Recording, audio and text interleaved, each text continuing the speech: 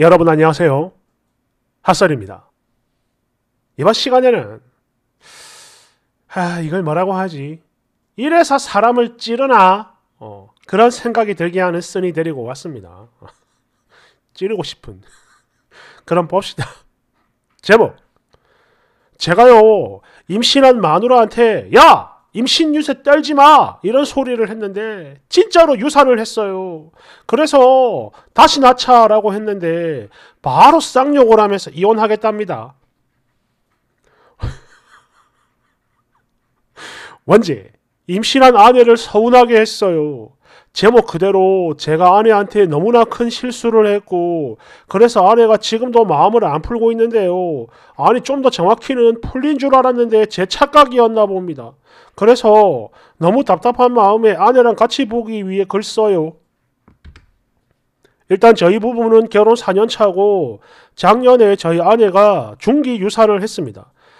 아마 임신 개월 차가 많이 많았나 봅니다. 그 중기를 말하는 거겠죠. 그렇게 해가지고 저희 두 사람은 같이 아픈 시간을 보냈죠.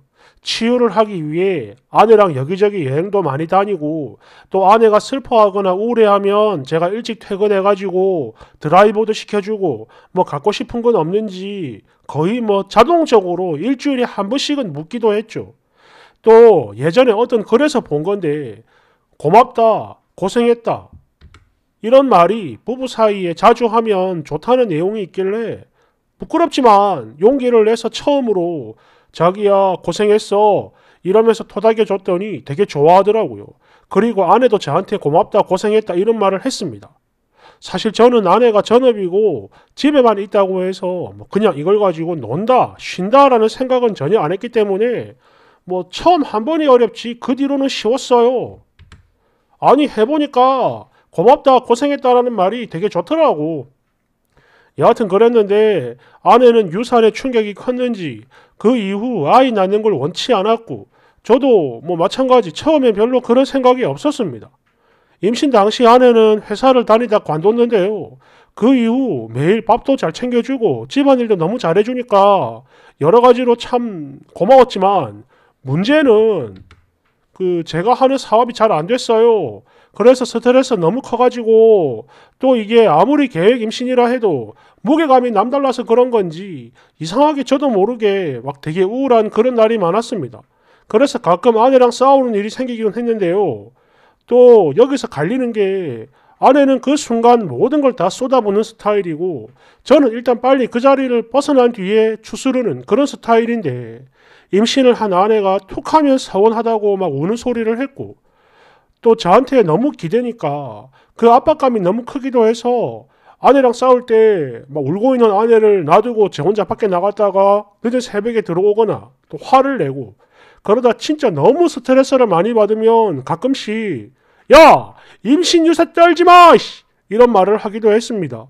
뭐 소리를 지르면서 할 때도 있었고 뭐 비웃으며 뭐 비아냥거린다 그러죠. 그렇게 할 때도 있었습니다. 예 알아요. 정말 못된 거죠. 근데 그래도 변명을 좀 해보자면 당시 저희 가게 매출이 50% 가까이 떨어졌는데 그런 상황에서 생활비는 맞춰줘야 되니까 너무 스트레스 받는 겁니다. 그래서 저도 모르게 그런 소리를 했던 것 같아요. 그리고 또 한 번은 이게 제일 큰데 아내한테 과호흡이 오면서 토하는 걸 봤어요. 근데 이때도 한참 싸우고 있던 때여서 야 장난하냐? 엄살 피우지 마. 유세 떨지 마. 이렇게 말하고 아예 들여다보지도 않았는데 다음날 보니까 안에 얼굴 실핏줄이 실핏줄이 다 터져 있는 겁니다. 깜짝 놀라가지고 바로 사과했죠. 근데 뭐 화도 안 내고 아무 대꾸도 하지 않더라고요. 참고로 저희 아내는 엄마가 일찍 돌아가셔가지고 없습니다. 매일 엄마 보고 싶다고 울고 막 그랬는데 이럴 때마다 아내만 그런 게 아니라 저도 마찬가지예요. 진짜 엄청 힘들었거든요. 뭐 아무튼 그러다가 결국에 유산을 하게 됐고 이제 더 이상 아이를 가지고 싶지 않다 이런 말을 하길래 저도 힘들었으니까 일단 알았다 그렇게 하자라고 하고 넘어갔어요. 그런데 그 뒤로 마음과 몸을 추스르나 싶더니 진짜인가 봐. 제일 비싼 유모차부터 침대, 카시트까지 전부 다 고아원에 기부를 해버렸고 곧바로 다시 사회에 복귀를 해버리더라고요. 그러다 얼마 전에 제가 자기야 아이 정말 안 나올 거야? 라고 했더니 아내가 대답 대신 이런 말을 합니다. 지금 내가 이렇게 살고 있는 이유는 죽을 때까지 다시는 임신을 하지 않을 거니까 또 약속을 했고 같이 묻기로 했으니까 그냥 조용히 살고 있는 거야. 그게 아니면 진작에 이혼을 했겠지. 왜? 지금이라도 이혼할까? 와, 딱 이러는데 저 진짜 너무 놀랐던 게 아까 처음에도 말씀드렸죠.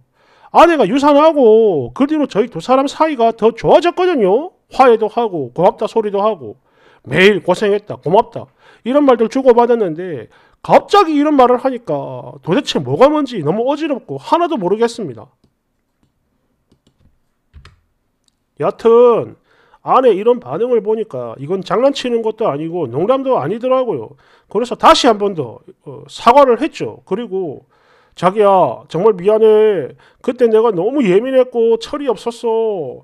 뭐 물론 내가 지금 당장 뭘 어떻게 해보자는 건 아니야. 다만 앞으로 내가 좀 더 잘하고 노력하는 모습을 보여주면 너도 생각을 바꿔줄 수 없겠냐?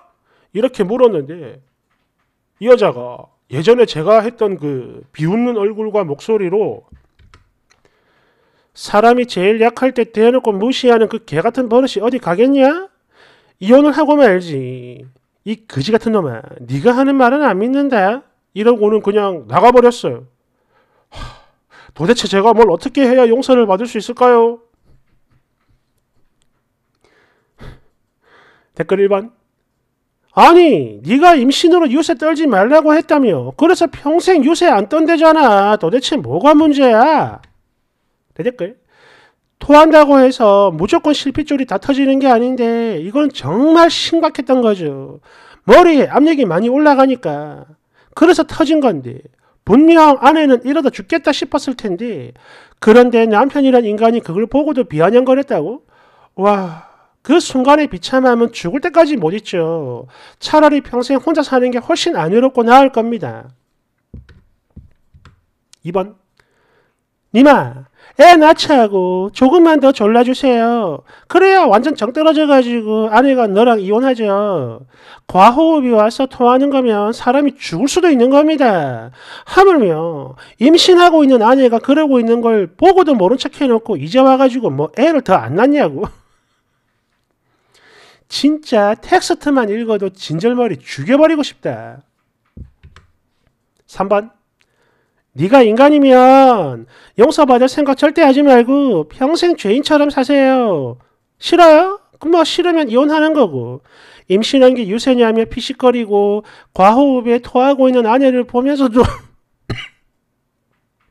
유세 부린다 그러고 다른 사람이 아니고 네 자식이 죽은 겁니다. 거기다 네 마누라도 같이 죽는 걸 보고 싶어서 그랬어요? 아무리 사업이 힘들어도 그렇지 그게 사람 생명보다 중요합니까? 더군다나 그 상대방이 네 가족인데? 게다가 그걸 또 철이 없어가지고 그런 거라며 본인이 했던 그 언행들을 가볍게 여기고 그저 아내를 서운하게 했다 이렇게만 말을 하고 있으니 아내분은 엄마도 없고 의지할 곳이라고는 남편인 딱 너 하나밖에 없었을 텐데 그렇게 무너진 신뢰는요 회복이 어렵고 아니 안 돼요. 안 돼. 알겠어요? 평생 안 돼. 그러니까 싫으면 이혼해 대댓글. 심지어 중기 유산으로 죽을 고비를 남긴 사람한테 정말 아이는 안 나올 거야? 이런 말을 했다고. 네가 사람 맞아요? 4번. 임신한 걸 보고 유세라고 조롱하고 또 과호흡이 와서 토하고 있는 사람을 눈으로 보고도 오봤단다며 조롱을 했던 인간이 다시 임신하라는 말을 어떻게 해요? 어? 인간 맞아? 아니 짐승도 이렇게 못해. 5번. 뭐요? 돈 버는 걸로 유세 못 떠니까 약이 바짝 오른 건가? 그런 건가? 그렇구만. 이제 보니 아내가 품은 자식을 네가 죽인 거네, 네가. 7번. 여기부터는 본문이 지워진 뒤에 달린 댓글입니다. 글을 펑 해버렸어요. 음. 아이씨, 글을 왜 지우고 난리야. 이럴 거면 왜 쓴 거야? 네가 원하는 댓글을 안 달려서 지우는 거야 뭐야? 아이씨, 궁금해 죽겠네. 8번. 아내 보여준다고 위풍당당하더니 지워버렸네. 야, 지운다고 다 될 것 같냐? 니글 지킴이가 여기 지금 얼마나 많은데. 여하튼 아내분도 볼 수 있으니까 한마디만 하고 갑니다. 네 남편은 사람이 아니에요. 부디 바라올 건데 이번 기회에 폐기하시길 바랍니다. 임신 유세라니 과호흡에 구역질에 실핏줄이 터진 얼굴이면 완전 시커멓게 변했을 텐데 정말 기가 막힌다. 아니 남도 아니고 지 새끼를 품고 있는 아내한테 임신 유세? 잘 들어요. 지금이야 지가 급하니까 꼬리를 내리는 거지만 또 나중에 사업 잘 되잖아? 그때는 쓰니 아니 아내분뿐만 아니라 아내분이 낳은 자식한테도 생색내면서 개랄지 할 게 100%입니다. 아이가 얼마나 힘들었으면 엄마를 두고 갔을까요? 중기 유산이면 얼마나 힘들고 사무칠지. 어휴, 터닥터닥. 9번. 댓글 여기저기에 달려있는 원본글 보고 왔다 이 새끼야. 야 이 미친 너 글 지운다고 뭐 달라지냐? 너 딱 걸렸어. 10번. 나는 아내가 더 이해가 안 되네. 왜 이혼을 안 하는 걸까? 나 같으면 당장 이혼했다고. 역겨운 놈. 제발 자작이길 빈다. 너무 슬프지만 돌아갈 친정이 없으니 이혼 안 하고 그냥 참고 사는 것 같아요. 세상 천지 어떤 미친 여자가 자기 새끼를 사지로 몰아간 남자의 애를 다시 가질 생각을 하겠냐고요. 특히 중기 유산이면 진짜 몸도 그렇고 말이 아니었을 텐데. 여하튼 힘든 시절에 나를 벼랑으로 몰고 갈 사람하고는 절대 미래를 그릴 수 없는 겁니다. 그냥 포기하세요. 용서. 야, 니네 엄마한테 가서 물어봐라. 용서가 되는지. 아, 그래. 니네 엄마는 된다고 할지도 모르겠다.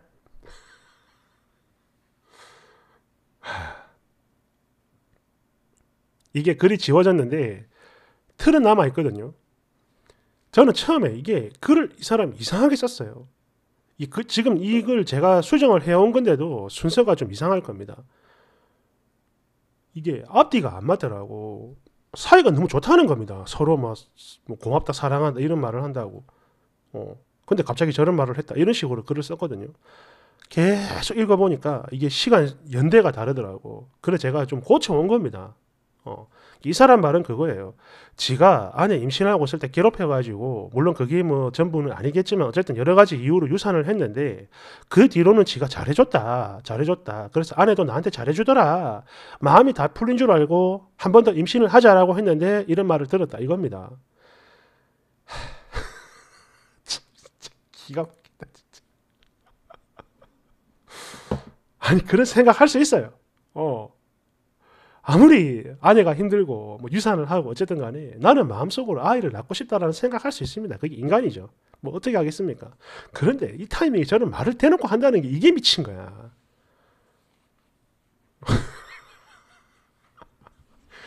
아무튼 그래요. 어, 감사합니다.